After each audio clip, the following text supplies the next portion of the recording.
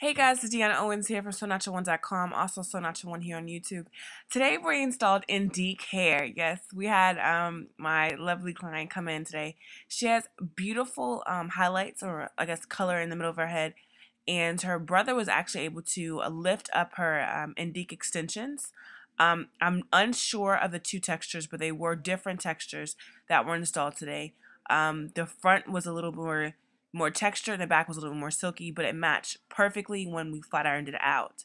Alright, so what you're looking at right now is me just showing how she can do her hair. I'm pulling it up and I'm just showing these pictures right before I start styling it. So this is how the hair was in its natural state um, after it was conditioned and washed. Um, it was a slight wave, um, not completely bone straight, even though it is straight extensions. Um, I did flat iron it out and I just did some some quick tousled curls with my um, curling wand. And I love the way these um, hand-tied wefts were installed into her head. It's flawless, extremely flat, and it looks just like her hair. Once again, this is Indique hair.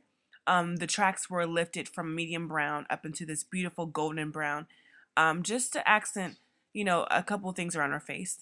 I hope you guys enjoy them.